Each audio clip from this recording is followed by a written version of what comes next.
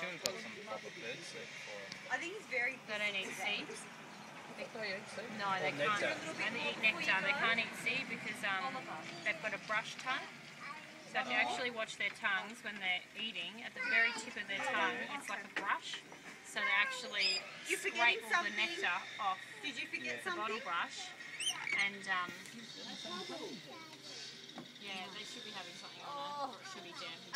love you. Bye He's bye. going to crack the shit that one. Yeah. Oh, close Because they want They to give you the. Yeah.